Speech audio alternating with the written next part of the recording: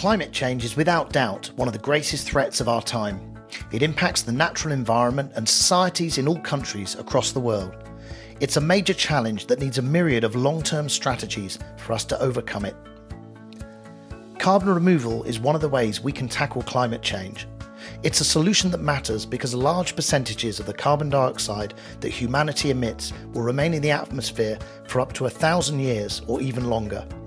Removing and sequestering that carbon dioxide is a vital step towards slowing or even reversing climate change.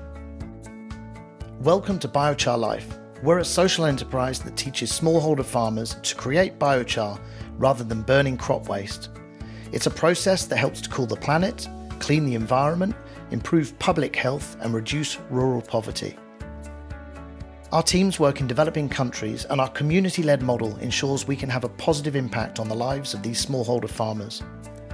As part of our teaching process, we provide them with new equipment, including buckets and bags, and they earn new income so livelihoods are improved and families are able to invest in new things such as pay the fees required to send their children to school.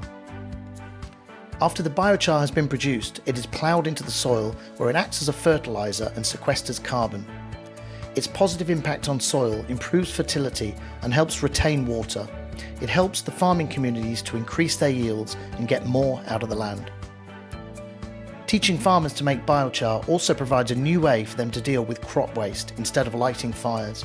This reduces smoke pollution and saves thousands of lives. PM 2.5 pollution being a major health issue in developing countries.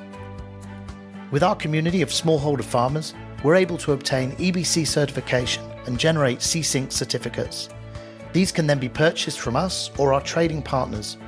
It means you can offset emissions by supporting a process that not only removes CO2 from the atmosphere for hundreds of years, but also has a huge impact in developing countries, reducing poverty and improving the lives of thousands of people. If you'd like to know more about biochar and how your organisation can help out, we'd love to chat. Get in touch at hello at biochar.life. Thank you.